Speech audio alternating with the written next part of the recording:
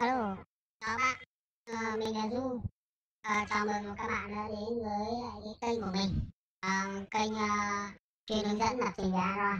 Đấy. Và tương lai thì sẽ có nhiều cái khác hơn nữa. Thì ở video ở những video lần trước ạ, mình có hướng dẫn các bạn làm cái bằng nít hoa quả. Đấy. Thì có nghĩa là làm ra cái app. Đấy, nó sẽ chạy như này.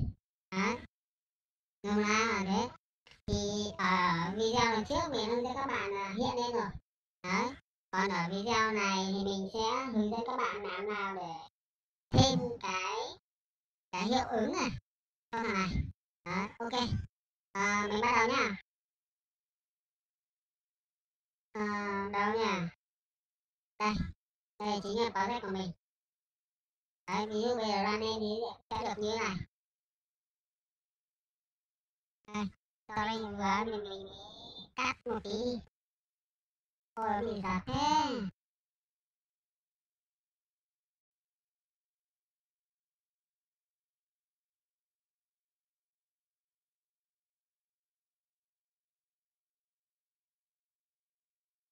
Quá rồi nhỉ.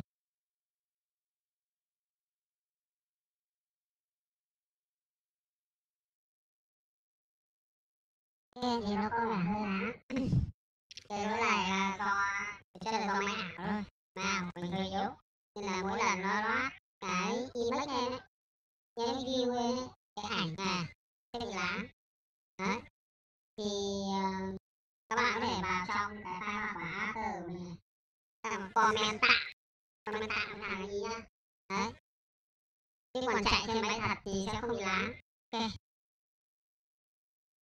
như các bạn đã thấy ấy, cái video này là mình do chạy trên máy thật.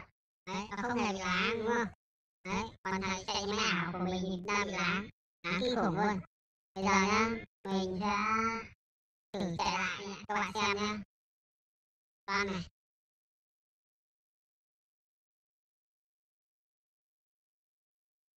Đấy các bạn nhìn chưa? Mượt chưa?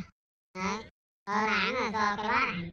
Ok thì bây giờ mình sẽ tiến hành uh, hôm nay là sẽ tiến hành test cái hiệu ứng của nó. Ok thì đầu tiên như các bạn nhìn thấy ở trên hình đúng không?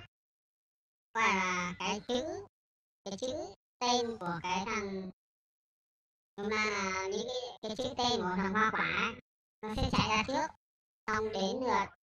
Xong rồi đây những những cái tên này mô tả mấy giá sẽ chạy từ bên phải qua bên trái.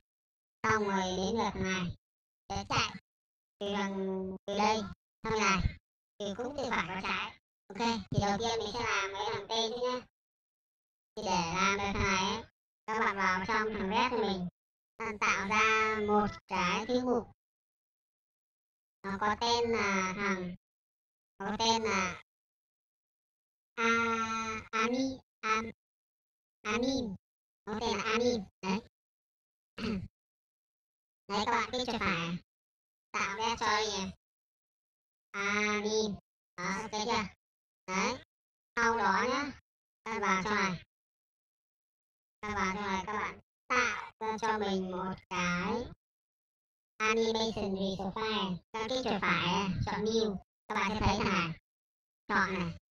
Rồi thì bây giờ mình muốn cái tên hoa quả của mình là từ phải qua trái mà.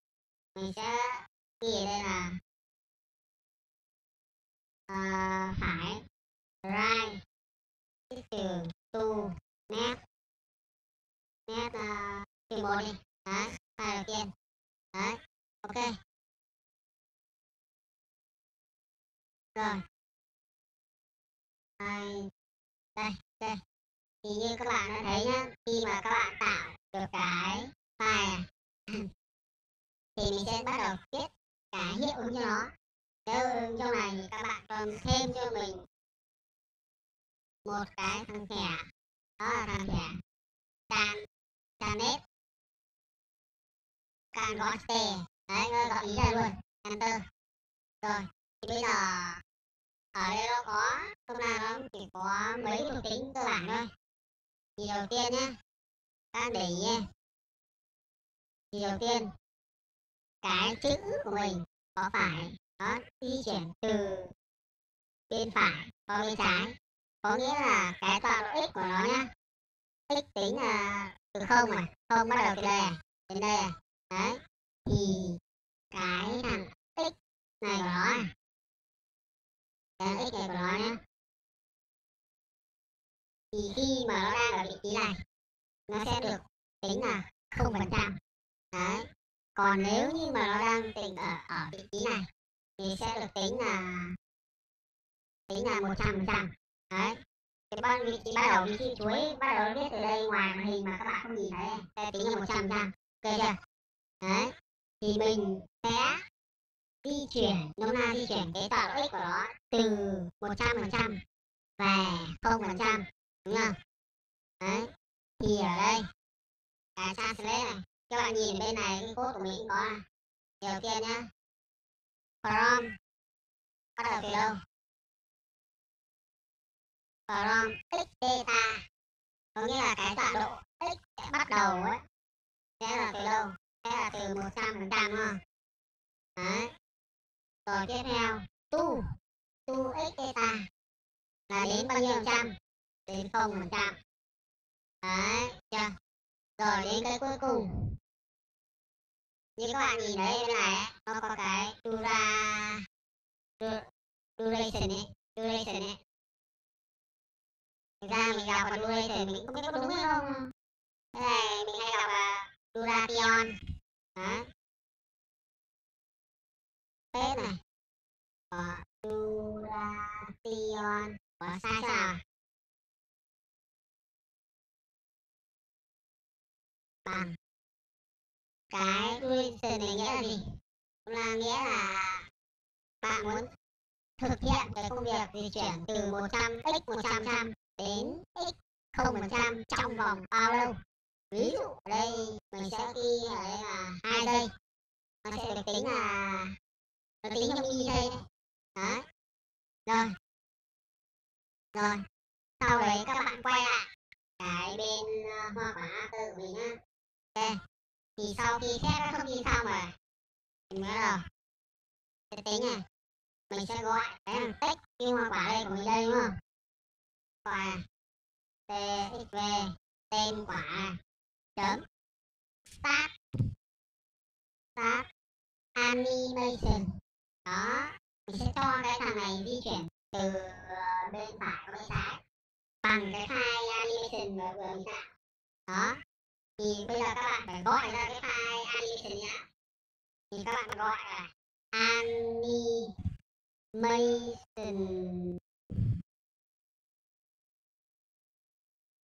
U có chết sai rồi. U u t đấy tính là đó sớm dot animation, có nghĩa là gọi nó lên. Nhưng khi, một khi các bạn đã gọi nó lên, các bạn cần truyền vào cho nó cái context chính là cái context đầu vào của thằng after ấy. Tiếp đến nữa là bạn muốn gọi đến thằng animation nào thì bạn gọi, có r chấm. Animation của mình để trong thằng anim nữa thì mình sẽ gọi anim đấy, chấm chấm. Right to net một. Đấy, ok. Giờ mình chạy cho các bạn xem nhé xem được cái gì à?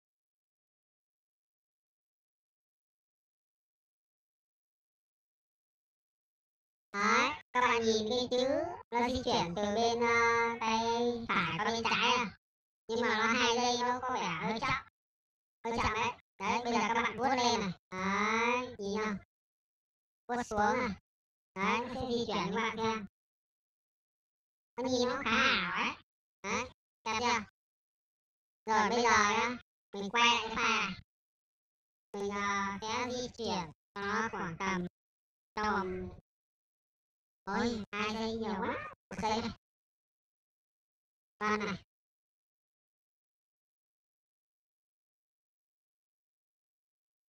Đấy, các bạn nghĩ chưa? Nhanh không? Rồi. Tiếp đến nữa là đến cái thằng này không? Cái thằng mô tả không? Mình cũng làm tương tự. Tăng kích chuột phải, à. à kích chuột trái để cho cái ờ, con con trò chuột này nó ở cuối dòng thằng này ta ta nhấn Ctrl D cho mình đó. Và Ctrl D tiếp nữa. Bây giờ mình muốn cả thằng này cả thằng giá cả mô tả bảng giá đầu tiên là mô tả cũng di chuyển đi xịt tiếp theo là ông giá cũng đi xịt xịt đấy. Được chưa? Sau đó, bấm ra lại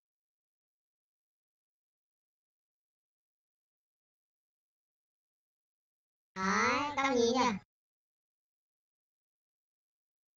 à, bỏ mẹ bấm nhầm rồi sorry sorry. Đấy. Nhìn có gì đang sai sai à? Ta nhìn cái chữ đô la của mình đây. Cái đô la nó không di chuyển. Đúng chưa? Bởi vì là mình đang kích cứng rồi. Bây giờ mình sẽ cho nó di chuyển. À, cho di chuyển từ bên nào ra? Từ bên trái này qua bên phải nhá ok mình vào cái file layout của mình. đầu tiên công việc tiên mình sẽ tìm ra đến cái đến hàng giá của mình sẽ rồi đấy thằng giá đây đúng không giá cho nó giá đi. Txv đô la. Đô la dl đấy mình copy. Rồi sang bên after nhá. Ở đây mình sẽ khai báo một cái text view txv đô la, bằng, con view. Chấm, ánh xạ cho nó là view body r chấm id chấm. Txvdl đó. Rồi. Thì bây giờ mình muốn nó di chuyển từ bên trái qua bên phải, đúng không? Rồi bạn kích các bạn kích chuột trái vào cái file email mình vừa tạo ấy còn nhấn Ctrl C. Ctrl V có nghĩa mình sẽ copy mình sửa nhanh được chưa? Đấy thì thằng này sẽ là left to right một. Chưa? Bởi vì nó là left đúng không? Nên là nên là cái vị trí của nó vị trí đúng của nó là không phần trăm này. Còn cái vị trí bên này ấy, sẽ bắt đầu là tính là âm. Bình thường không phần trăm này về rồi dương không phần trăm về rồi âm. Các bạn hiểu chưa đấy. Ở đây mình sẽ ghi là âm uh, cho tầm hai trăm phần trăm đấy. Cho hai trăm phần trăm để cho nó lệch sang bên này lệch sang bên này. Đấy. Rồi. Thì sang bên này. Các bạn nhấn Ctrl D copy thêm một dòng cho mình. Gọi cái text view đây là đô la ra này và thay vì mình gọi loát cái cái cái hiệu ứng mình sẽ gọi là hiệu ứng nhá hiệu ứng từ bên ờ, phải qua bên trái mình giờ gọi cái hiệu ứng bên trái qua bên phải đó đây là này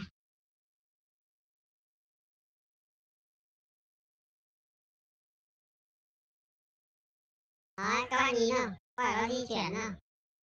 Đó. Đấy. Hợp lý không? Đấy. Rồi. Đến thằng với thằng tiếp theo là cái thằng này. Cái thằng thanh đánh đá này. Như trong video các bạn có thấy ấy. Thanh đánh đá. À, nó đợi bọn này chạy xong rồi mới đến đúng không? Đó. Nhưng nó cũng di chuyển từ bên phải qua bên trái ok thì mình lại copy cái file mình paste đây mình sẽ đặt là write to net 2 nhưng mà bởi vì thằng kia thằng thằng cái thằng cái thằng uh, chất lượng ấy nó đi sau đúng không? Nên là mình sẽ cho thời gian của thằng này chậm hơn gấp đôi lên mình cho hai giây. Đấy. Xong rồi sang bên after. Mình Ctrl D tiếp này copy dòng này tiếp này. Và nhìn cái hàng chất lượng mình cũng cho nó loát animation. Nhưng mà thay vì loát cái animation này thì mình sẽ loát cái animation rep right to left 2 đó. Bấm lại nha.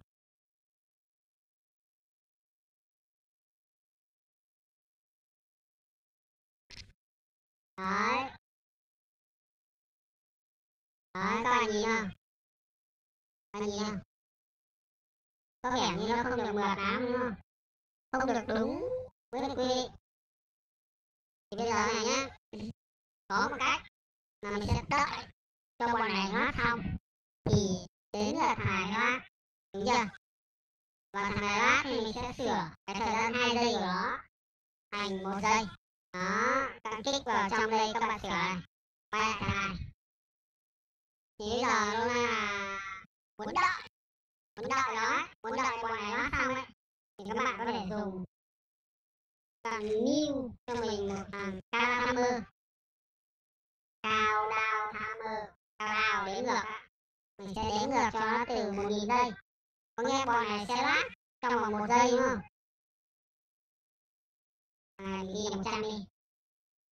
Rồi ờ, các bạn mở ngoài thì lúc này nó bắt các bạn phải implement hai cái method đó các kích vào đây. Các nhìn cái dấu đỏ à đấy nó bắt implement hai method. Nhấn enter. Đó. Xong ở ngoài này nhá các bạn chấm ta cho mình. Có nghĩa là sao? Có nghĩa là khi thằng này bắt đầu chạy, cái animation và thằng này cũng đồng thời chạy cái bộ đếm ngược từ một giây. Cho đến không giây được chưa thì mình sẽ copy cái thằng này. Mình paste vào on clip on.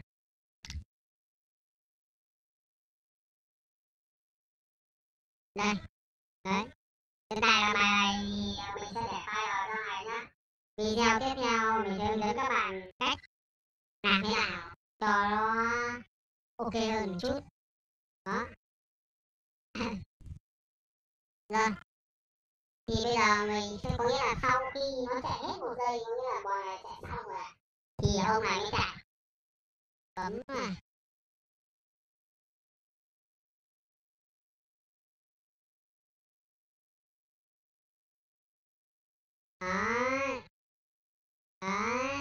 Có gì sai sai à, bạn thấy sai à có nghĩa ban đầu nó vẫn còn đúng không? Chứ nó không mất đi. Bây giờ mình muốn nó mất đi cơ. Thì làm nào? Đấy. Thì đơn giản thôi. Ở đây. Mình sẽ gọi cái thằng chất lượng. Chấm phép visible. Visibility. Bằng code. Cho nó mất đi. Đấy. Mình copy ra ngoài mình là phí lúc này mình sẽ set là visible. Set visible bằng visible. Để cho nó hiện lên. Và tiến hành loát đấy, chạy lại.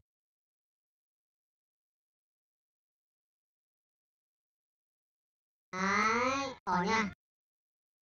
đã quá. Đấy. Rồi, thế là bây giờ là thằng cuối cùng. Là thằng này. Bây giờ mình ở trên video là mình đổ từ trên dưới đúng không? Thì đơn giản lắm. Các bạn cũng copy thằng này cho mình.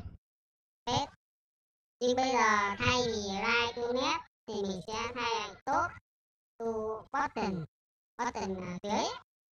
Đó. Ở trong này đương nhiên đương nhiên đương nhiên không thể. Nó không thể để là x data được. Mà đây sẽ là y data thì mình hướng dẫn các bạn thằng x x x x ở đây nó không phần trăm luôn thì thằng y ấy, ở đây nó không phần trăm. Và đầu trên là đầu âm còn đầu dưới là đầu dương. Đấy nó như kiểu cái trục tọa độ ấy.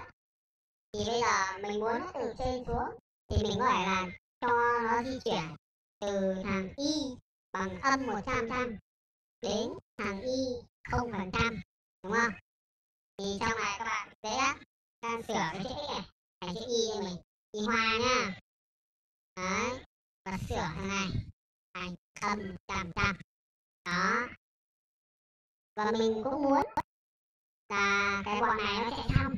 Mới đến được thằng này. Mới đến được cái ảnh nó đổ xuống.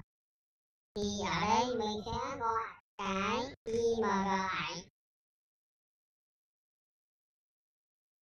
Chấm set visibility tốt. Rồi. Mình cũng căn cho d thằng này mình cũng gọi cái ảnh cho nó visible nó hiện lên. Và mình căn cho D thằng này tiếp? Mình cũng gọi cái thằng này.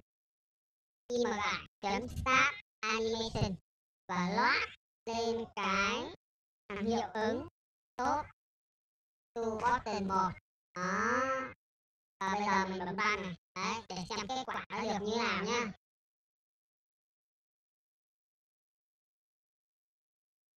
Đấy càng nhìn ngon à? Quá ngon. Đấy. Đấy ngon chưa? Đấy rồi. Thì video lần này mình sẽ được uh, mình sẽ dừng lại đây. Uh, nếu các bạn thấy hay thì các bạn sẽ hãy nhấn like. Đấy rồi chưa được cái like nào. Đấy thì nếu như mà là đây là đầu tiên các bạn xem video của mình ấy thì các bạn có thể nhấn đăng ký để theo dõi những cái video khác. Mình sẽ làm rất nhiều cái video về cái thằng Ui à. Ok. Đó. À cái suộc này nhá. Cái project này ấy, thì mình luôn public luôn public. Các bạn có thể vào phần hiển thị thêm này thì ra cái link code này nó chỉ là link tài liệu cho các bạn tải tải về thôi. Thực chất bên trong nó chỉ có ảnh. Nè, chỉ có các cái ảnh thôi. Còn nếu như các bạn muốn lấy có đầy đủ ấy thì các bạn có thể vào facebook này, vào fanpage của mình và nhắn tin cho fanpage. Đấy, ok chưa? Đấy. Đấy, video của mình à, xin được dừng lại đây. Chúc các bạn học sinh vẻ. 马路怎么走啊。